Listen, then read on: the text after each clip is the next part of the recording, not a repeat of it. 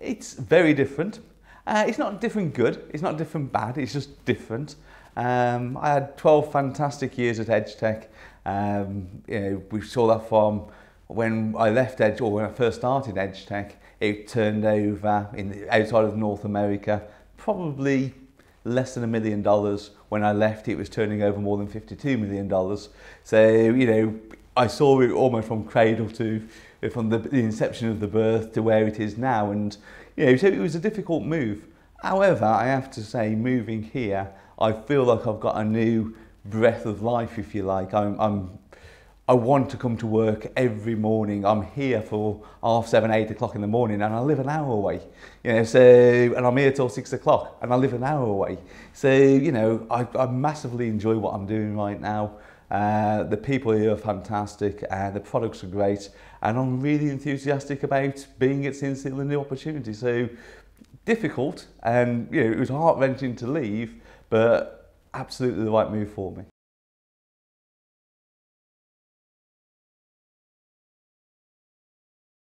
That's a good question because you know over the years I've been offered many jobs uh, with many different companies, some good, some bad, some not so good. Uh, but um, I would say Synseal was one of the very few people that I've always said that if they come asking, I would listen to seriously. And you are in a really uh, interesting position right now Their portfolio of products is probably better than anybody else's in the industry. Um, you know, their position in the marketplace is second to none. And, you know, the people here, I've been dealing with the people here for the past five, six years. So it wasn't like having to come and you know, introduce myself to a new family. They were just part of my extended family previously, and now they're close family now. So that part of the move was very, very easy. And, you know, again, Sincere, it's up there. You know, they are one of the best names in the industry. Um, it gives me a chance and opportunity from a career perspective to uh, perform on the biggest stage. And I truly don't believe there's probably a bigger job in the industry than the group sales and marketing director of a company like Synseal. You know, if you get it right, it's very public. If you get it wrong, it's very public. So a little bit of pressure there, but you know, I'm I'm up for this. I, I chose this quite deliberately uh, over anything else. I don't think there would have been many other companies that could have got me away from EdgeTech. You know, again, it was my baby. Um, it, it was a big decision for me and for my family for me to move away. But again, absolutely the right decision. Uh, but it was made easier by the fact it was Synseal. I think it's just the There's, there's several things, aren't there? I mean, the, the amount of products they've got in their portfolio. There's four window systems. You know, there's Shield, there's Synergy, there's Legend, there's Sheer Fame 8000. When you look at those four uh, window systems, they're probably, since they're probably the only um, profile company which can reach just about every single fabricator in the land. You know, whether you're a commercial fabricator, we have a system for that. Whether you are a retail fabricator, we have a system for that. A trade fabricator or the, uh, a company that sells predominantly to the man in the van. We have systems that can meet uh, all of those requirements. I don't think any other profile company or any other profile house can, can achieve that. Uh, so from that perspective, you know, that makes us very different on the profile side of things. But let's remember that profile is only actually about 35%, nearly 40% maybe, of the total turnover of Synseal Group now. You know, Synseal Group have grown massively in the last seven years since the management buyout. You know, seven years ago, the turnover 80 million, something like that. Uh, next year, we're budgeted to do 150 million. You know, so that's a huge amount of growth. Seven years ago, 450 people, 500 people employed. Now, 1,200 people employed. You know, seven years ago, working from one site, we're now working from six sites, a million square, uh, square feet of manufacturing capacity. You know, it's a huge beast that has grown over the last seven years, and David Leng and his team should be applauded for that. There aren't many companies who can uh, sit there today and say in the probably the seven worst years that this industry has ever known have virtually doubled their turnover and grown in the same way as they have done. So again, when you go back to ask me, why did I come to Synseal? I think that answers that question as well. A loaded question uh, in the fact that when I look at the turnover of Synseal, it's, it's very, very diverse. I mean, four years ago, we didn't own a glass company. We now turn over 25 million pounds worth of glass a year. Yeah, so when you look at that in itself, you say that's a very, important, uh, very important part of what we do.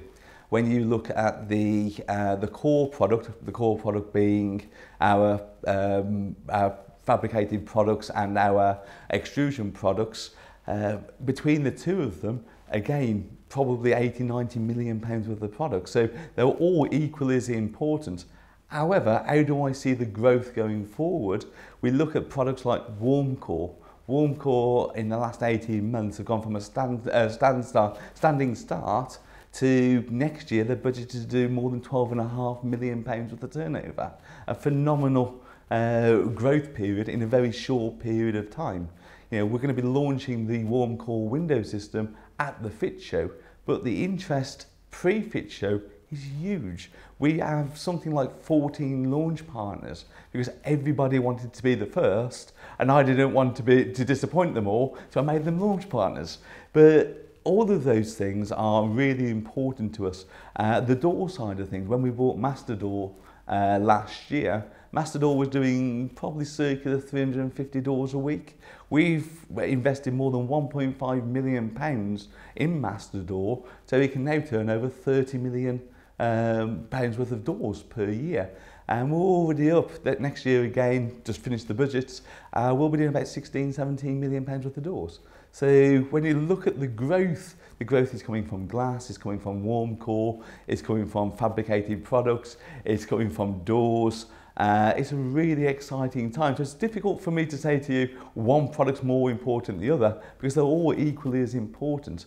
I think what's important is that we'll be able to give our customers uh, the widest range of products anywhere in the marketplace, competitively priced, highest quality, and it gives them opportunities for them to sell more, where, which will help them to develop their businesses and we can develop with them.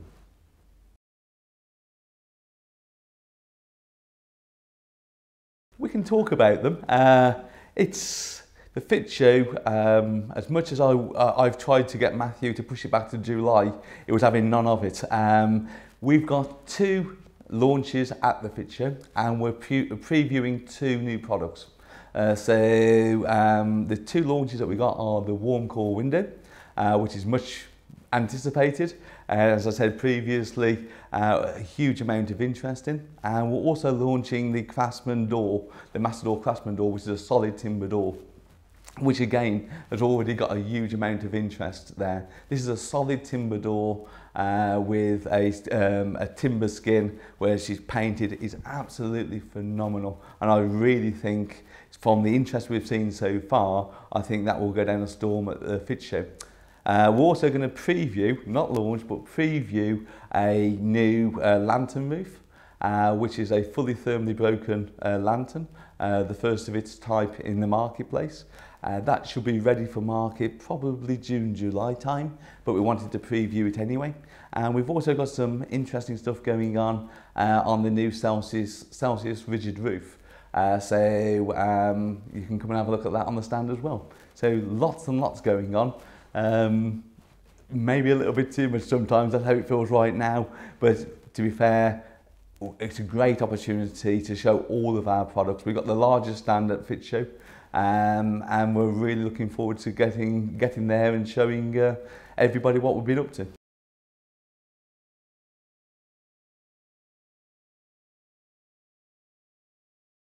At EdgeTech, I was uh, I was in charge of obviously all of it. You know, it was the sales and marketing was down to myself. I was also responsible for operational, financial, and all of those other things. Um, with obviously with um, with Sinsil, I'm it's it's group sales and marketing. But that's not to say I don't get involved in just about every other aspect of the business as well. You know, there's a great great group and very experienced group of uh, directors here, and we meet regularly to discuss the business and uh, how we can improve the business and you know the the strategy to move forward. Uh, with EdgeTech, it was more, uh, obviously being an American company, uh, it was very, um, not political, that's not the right word, but it was a PLC. And when you live in the PLC world, it's a PLC world. Uh, here, uh, if a decision needs to be made, it gets made very quickly by a very small number of people. Uh, so that's, that's a huge difference and something that I actually really enjoy uh, because it reminds me of how EdgeTech was before the PLC world. You know, if a decision needed to be made, it was made quickly. Uh, and that's not being derogatory to EdgeTech in any way, sh uh, shape or form.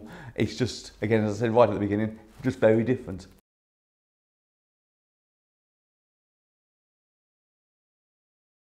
I believe that Synseal are a 200 million pound company and I think we can achieve that within inside three to five years.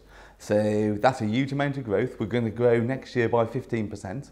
Uh, when you're the size that we are, 15% growth, that's, that's quite large. Uh, but we've got the product portfolio to do it. And you know, when if you look at where we're positioned on in the marketplace, whether it be on profiles where we've got, I don't know, 15, 15 16% of the market share, whether it be on conservatory roofs where we've got 50% plus the market share, uh, you look at glass where we're doing 30,000 sealed units a week, which puts us in the top five in the UK. Uh, on all of those products, you know, I truly believe we can become market leaders. And when I look at them at Warmcore, uh, when I look at the Masterdor uh, range, I think you know my aspiration is to become market leader in everything that we sell. You know, so that long-term goal is to make sure that Synseal Group are the number one choice for anything to do with fenestration. So whether that be windows, doors, aluminium, whatever, I want to be number one. Why be number two?